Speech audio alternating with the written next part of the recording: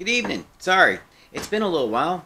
I've been busy. Uh, I've been going through a lot of different stresses and getting a little impulse eating in. So, you know, failed there. Had to go back to basics by cutting sugar, getting my intermittent fasting up, and, you know, making sure I took care of myself.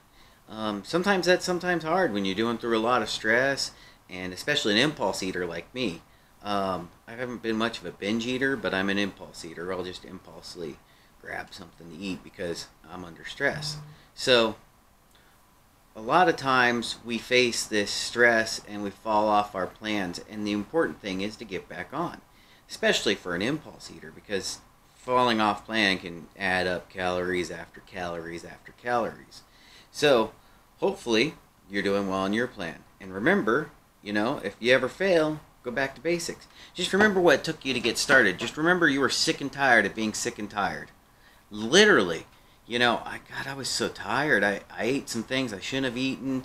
I did some things I shouldn't have done, and I, I didn't exercise nearly as much as I wanted to, and I was tired, and I hurt um, because I was starting to get inflammation back, and I was like, dude, this is why I stopped doing this stuff. This is this is why I started down this path to get away from this, and here I am right back at it.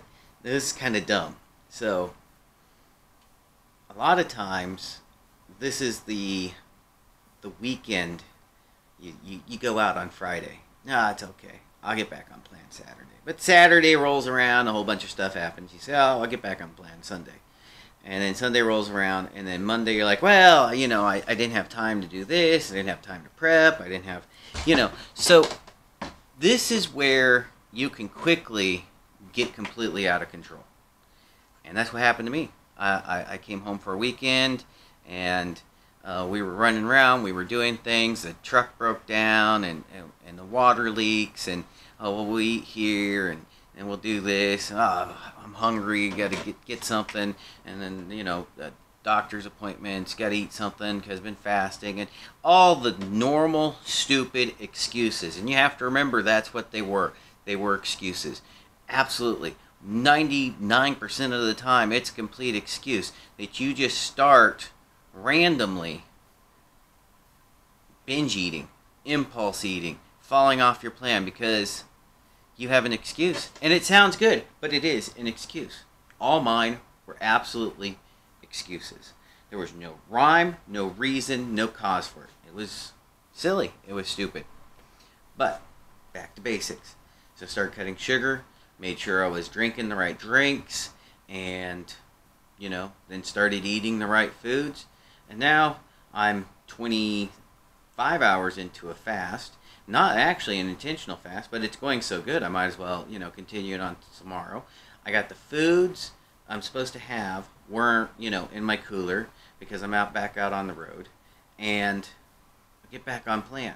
And when, when I get home, that's going to be where you know me and Patrick to get on the same page as well, because sometimes you fall off the plan because you and your spouse, me and Patrick, are complete enablers of each other.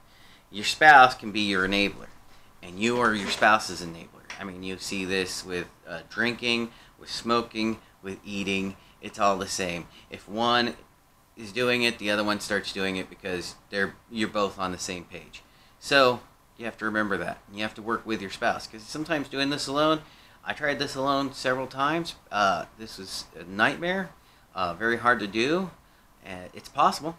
I mean, I, I started this uh, with Patrick not fully on board. Now he's on board, so it's easier. It's harder when your spouse isn't on board, but sometimes that's what you have to do. Um, given enough time, your spouse will get on board with you. So it's it's always been difficult for me to do something opposite of what my spouse is doing. We, we, our relationship is in, is so close knitted, and, and we do so much together when I am home that, especially eating, it seems like eating is one of the things we do, and we sometimes forget we have to eat the right things. Eating's still okay. Eating's still not the problem. What you're eating that's the problem. And so we had to get away from that. We had to start, you know, we have to start making the better choices. But, like I said, sometimes you fall off the plan, and that's okay. you've seen me several times say, you know, I had a bad week, I didn't do this, you know, um, because that's life. You know, at the end of the week, if you're gaining weight, you're losing weight. Those are the things that matter. And you have to accept yourself and you have to accept your failures. And I accepted that I failed. I totally accept it. I totally take credit for it, and I'm okay with it. I'm over it, and I'm moving on. And you have to understand your unhealthy relationship with food, because I didn't get this weight um, with a healthy relationship with food. You know, I had I had an unhealthy relationship with food. I used it to reward myself. I used it to comfort myself. I used it to calm my stress down. I uh, I always used food in all the wrong ways, and you know, it's easy when you're under stress and a lot of things are going on to fall back to your old ways, and that's okay. That's perfectly okay. What you have to do is get right back up on the bandwagon. And I think that's what I've done. Uh, been doing great for the last couple days, and I feel like I'm totally up on the bandwagon. So I hope you are successful. Forgive yourself, get back to basics, don't give up. Thanks.